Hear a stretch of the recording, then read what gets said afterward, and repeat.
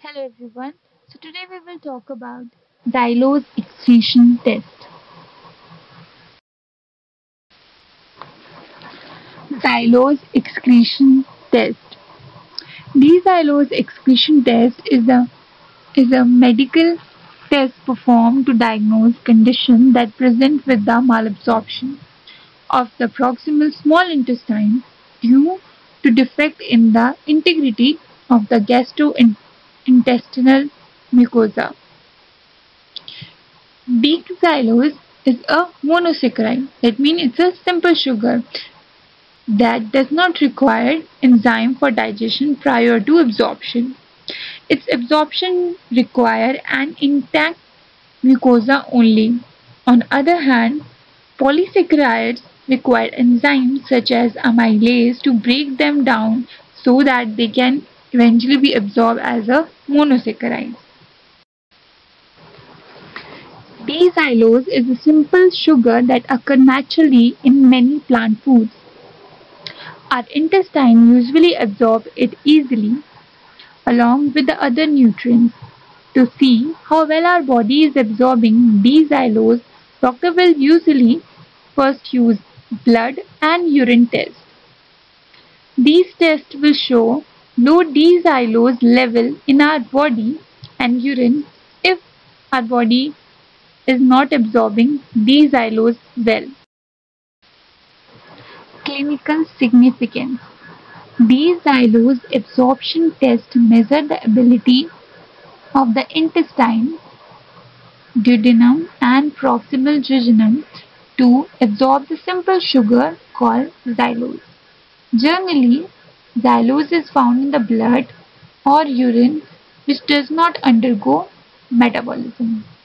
This indicates whether the nutrients are being properly absorbed in the intestine.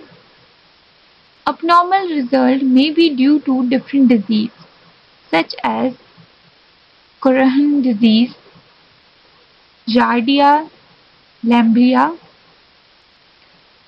infestation, hookworm infestation, lymphatic obstruction, small intestinal bacterial overgrowth, or gastroenteritis disease.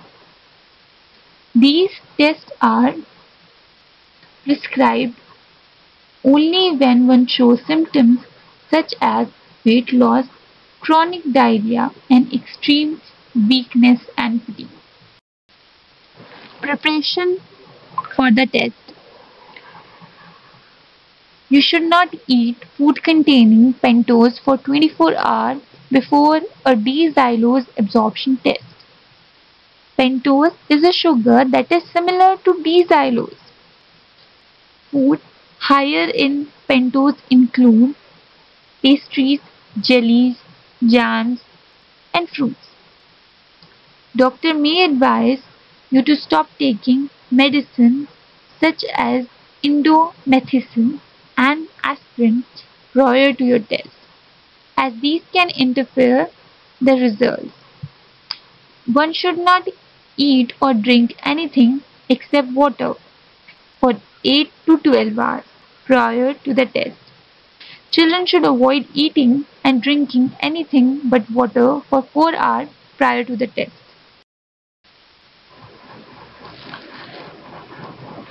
Procedure for D-xylose excretion.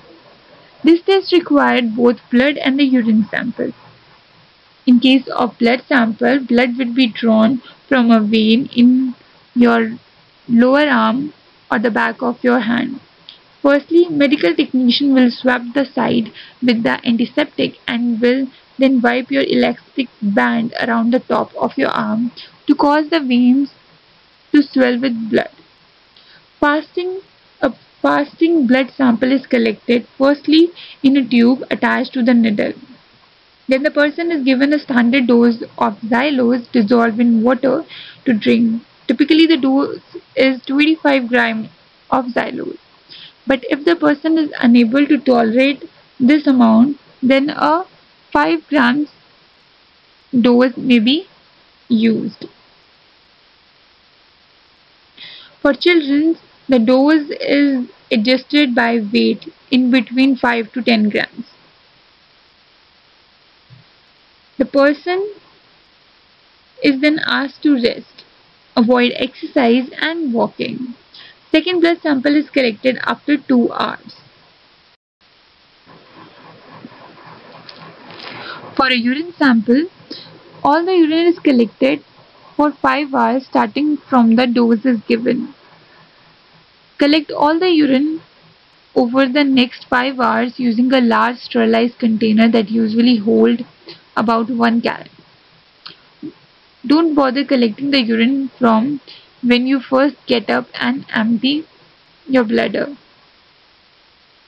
Be careful not to touch the inside of the container with your finger.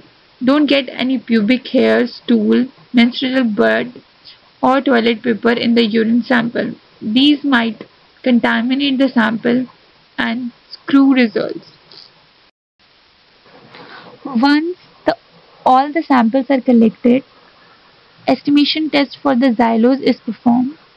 If the tests show abnormally low level of these xylose, it could mean you have one of the following conditions.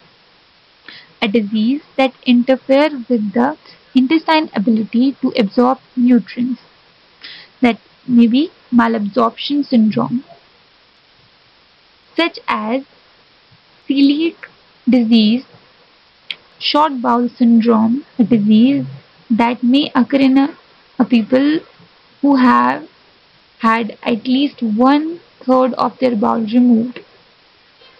Infection by a parasite such as hookworm, giardia, inflammation of a intestinal lining, food poisoning and flu. Next, let's talk about the risk associated with the test. Blood test, there is a minimum risk of minor bruising at the needle site. In rare cases, the vein may become swollen after blood is drawn. This can be treated with a warm compress several times each day. Ongoing bleeding could be a problem if you suffer from bleeding disorder or if you are taking blood thickening medicine such as warfarin or aspirin. Urine test. The test can cause dehydration. Make sure that you drink enough fluid to replace the lost liquid after you have completed the test. Drinking the D-xylose preparation may cause vomiting and diarrhea.